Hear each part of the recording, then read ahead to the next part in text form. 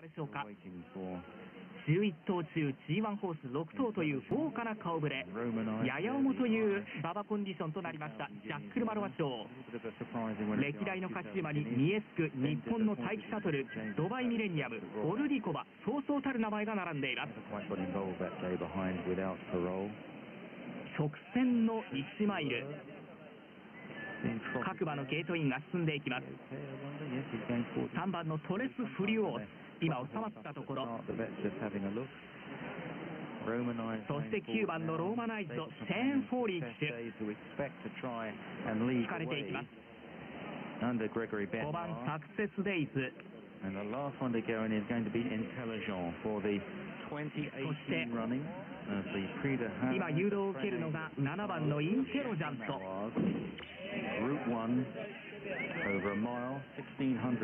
ピエール・タルル・ブドウ騎手ゆっくりゆっくり7番のインテロジャントゲートに収まっていきましたスタートしましたちょっと4番アクシデンタルエージェント後方からさまず先行争いですが The field threatening to 5番のサクセスデイズ先行していきます。リードを2馬身取りましたその後ろに9番ローマライト1番ヌール・アルアワ内側に寄っています。3番トレス・フリオース。そして外に11番のウィズユー。内に4頭外に7頭という分かれた隊列ができました。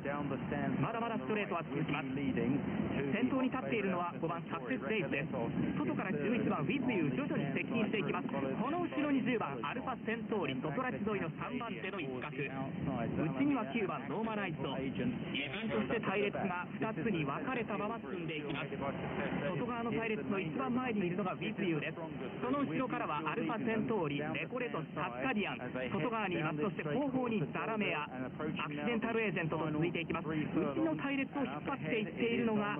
サクセスデイズローマナイトその後ろヌール・アルアワこれを並んでいったトレス・フリオまもなく勝負どころにかかって一気に前が広がって追い比べになります。サクセスデイズ外から一気にアルファセントーリがやってきました。この後ろからウィズユーが追い込んでくる間を狙ってくるのがローマライトそしてレコレトスまもなく残り 100m ぐらいさあ先頭ここで外らしといアルファセントーリが抜け出してきましたリードを2馬身3馬身広げていくレコレトスが2番手3番手争いは横に大きく広がっていますが強いアルファセントーリアルファセントーリ強かったアルファセントーリコレトスウィズユー。全く危なげありませんでした。アルファセントーリ C14 連勝。3歳牝馬。初のコバ男馬との対戦も全く問題ありませんでした。ホルム・オドノヒュー騎手が導いて見事に。アルファセントーリ。素晴らしいパフォーマンスを見せました内側と外側に。列が2つできるという形で進んでいきました今年のジャックル・マロワ賞外側の隊列を引っ張るような形でした。10番アルファセントーリですが外ラチの方追い出されてから一気に弾けました。全く後続を寄せつけない見事なレース。そして2番手には外ラチ沿い追うように伸びたレコレト3番手争い広がったんですが最後に外11番ウィズユーが